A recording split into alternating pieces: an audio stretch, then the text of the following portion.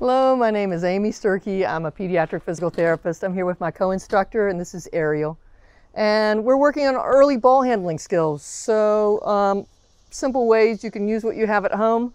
I've cut the end off of a milk jug and we're gonna work on scooping up and catching a tennis ball that I send to her. Um, the trick with a scoop is you, especially that kind that's got a rounded edge to it, is you have to kind of scoop down and scoop up. And uh, you, sometimes you have to take a little time teaching that. So I'm going to go right to her so she doesn't have to move too much. Here we go. Scoop it up and send it back to me. There you go. Ready? Mm-hmm. And if they're good at it, like she is, then I start making a move to go get it. So I'm going to go over there a little bit. Okay, she's good. Send it back to me. Ready? Ooh, ooh. Oh, oh, almost. I got it. I'm going to try that one again. You ready? Yep. And if they're good, you can add a little bit of a bounce to it. So you ready? Boop, boop, boop. There you go.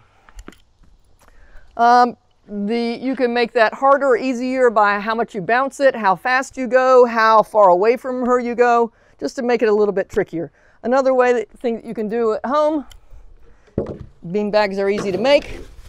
Just put beans into a sock and you can play uh, where she holds the bucket, I throw the beanbag, she has to catch the beanbag in the bucket. You ready? Good luck to you. Ooh. Oh, so close.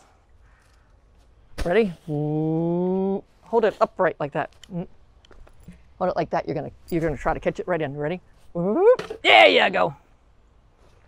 Uh-huh. Ready? Hold it up. Whoop. Hey, that's it. Ready? Ooh. So close.